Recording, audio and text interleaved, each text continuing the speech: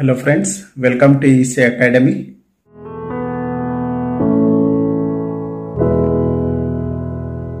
In this lecture, let us understand A-stable multivibrator.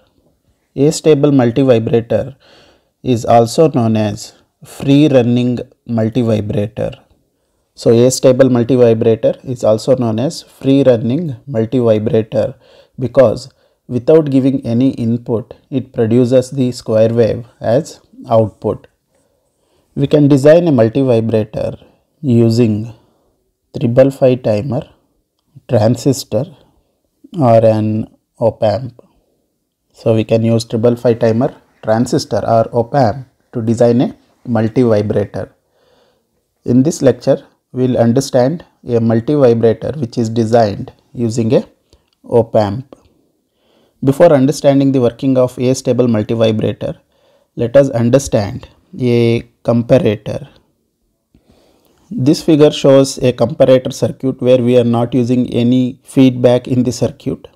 So V saturation is nothing but plus VCC that is connected and here minus V saturation is nothing but minus VEE which is negative terminal of the voltage. So the output of this comparator will be plus V saturation or minus V saturation depending upon the voltage across negative terminal of an op amp and positive terminal of an op amp. Let us take Vn as voltage across negative terminal of an op amp, Vp as voltage across positive terminal of an op amp.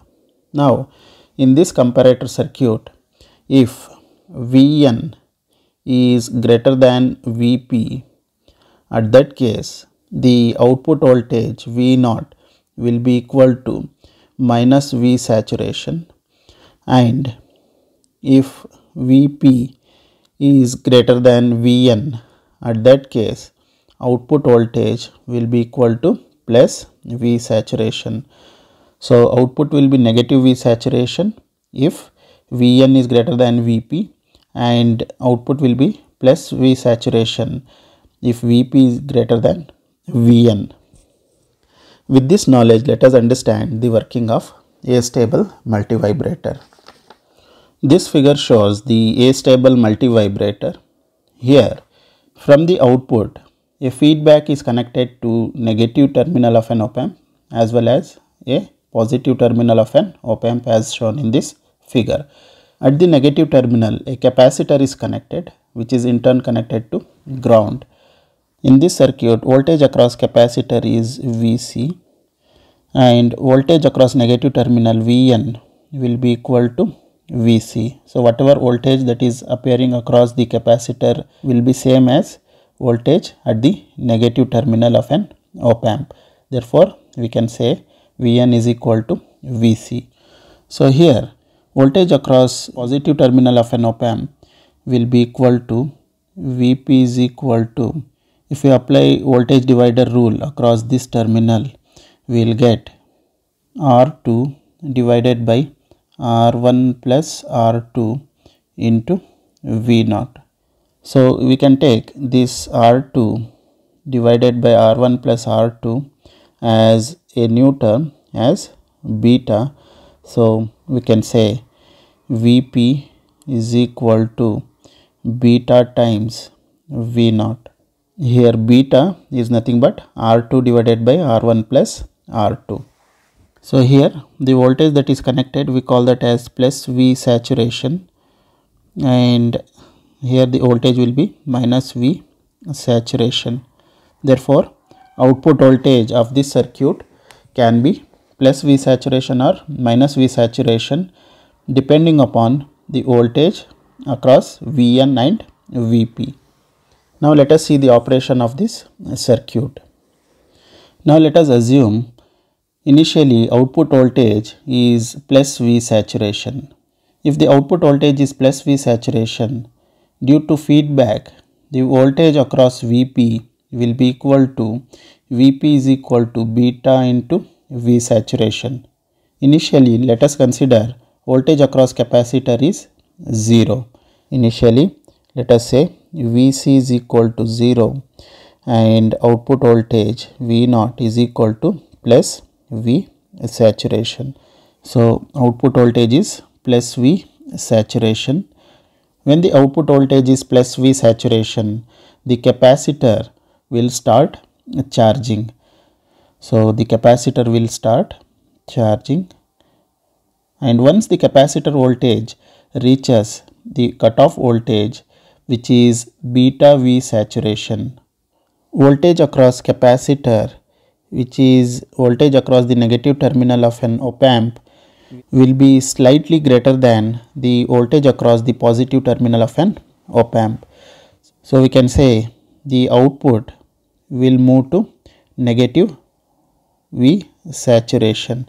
So as we have seen here if the voltage across negative terminal of an op amp is greater than the voltage across the positive terminal of an op amp output will be minus V saturation. So similar to this here the voltage across negative terminal is greater than the voltage across positive terminal that's why we get output voltage as minus V saturation. So output voltage of astable multivibrator will move to minus V saturation. Now the output voltage is minus V saturation output voltage will be equal to minus V saturation therefore Vp will be equal to minus beta V saturation. So at this case the capacitor starts discharging to negative peak voltage which is equal to minus beta V saturation. So in the first case capacitor was charging when output voltage is plus V saturation and when output voltage is minus V saturation capacitor starts discharging. So once capacitor starts discharging to negative peak the voltage across Vp will be slightly greater than voltage across the capacitor which is nothing but voltage across the negative terminal. So if the voltage across positive terminal is greater than the voltage across negative terminal, the output will be plus V saturation. So output of multivibrator will shift to plus V saturation and this process continues as capacitor again charges to the positive threshold voltage which is plus beta V saturation the output of the multivibrator will shift to negative V saturation and as the capacitor discharges to the negative threshold voltage value the output of multivibrator will shift to positive V saturation. So this is how we will get the output in a astable multivibrator where we are having two quasi states that doesn't require any input to produce a square wave. This is about the working of astable multivibrator. Hope you have understood the topic. Thank you.